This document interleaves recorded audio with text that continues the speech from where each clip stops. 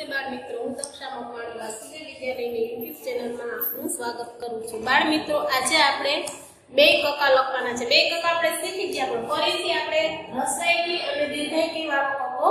લખવાનો છે આજે આપણે બોલતા જાશું અને લખતા જાશું કી કી ગી D G G G Z P P D D V D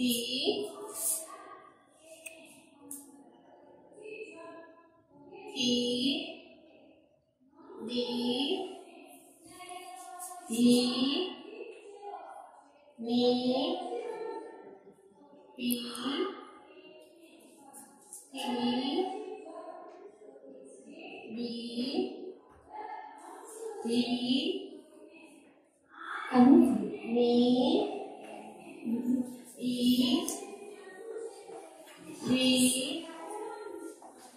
we we she she she we we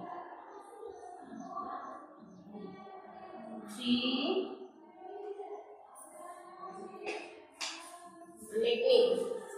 આપણે રસોઈ પીવાળો કપો લખો હવે આપણે દીર્ઘાઈ પીવાળો લખશું કી કી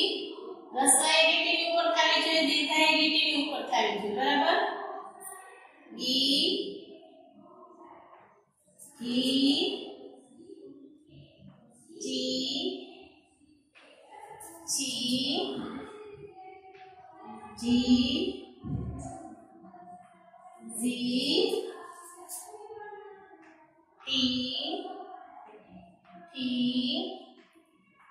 B B Me B E जी नी पी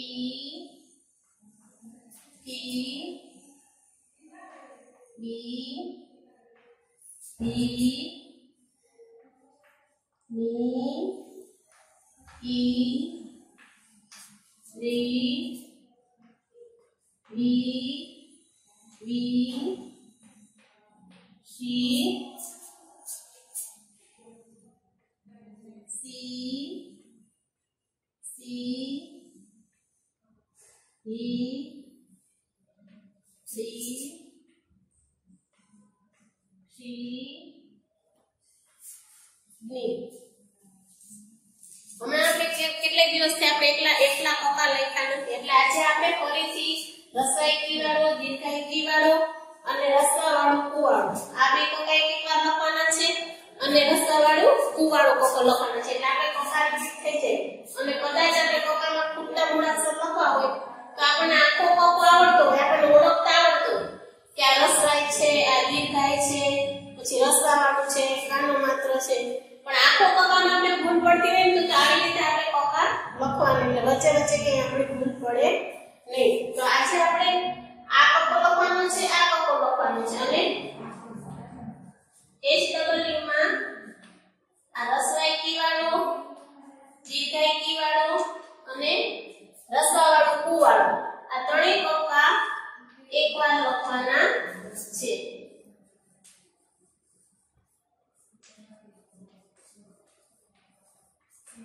લખવા અને બોલવા સરસ થેન્ક યુ